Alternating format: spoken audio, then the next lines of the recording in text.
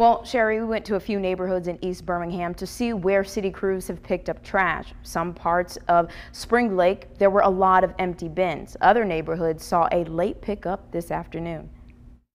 In a series of tweets, Birmingham City says it needs more time catching up on trash pickup on the east side. The city says because of COVID 19, employees are calling out sick. Charles McDonald's lives in the Spring Lake area where trash crews spent their morning emptying out his bin. They missed yesterday, but I understand.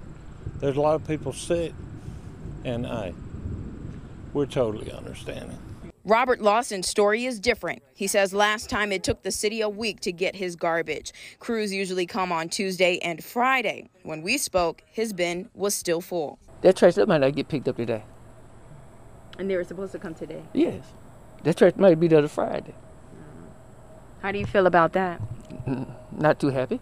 Brandon Holden is a refuse collector for West Birmingham. He recently had to fill in on the east side. He says trash collectors are underpaid and overworked. It's like we just the bottom of the totem pole. He'd like to see hazard pay if they have to collect garbage from homes where someone may be COVID positive. And I can give you plenty of suggestions to get people to come to work and for people to apply. You know what I'm saying? I can give you plenty. You start them at 18, you can top out at 20, maybe 22. As for residents, the people that do pick up the trash, because I, know it's a hard job. They come here when it's pouring down rain, you know, and I don't even want to go out. So I, I appreciate them.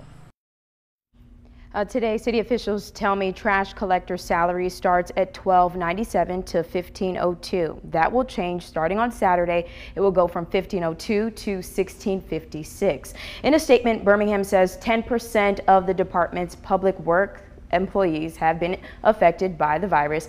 They've asked the community for patience as they work to cover other areas where employers have called in sick. New at 5, we have an update for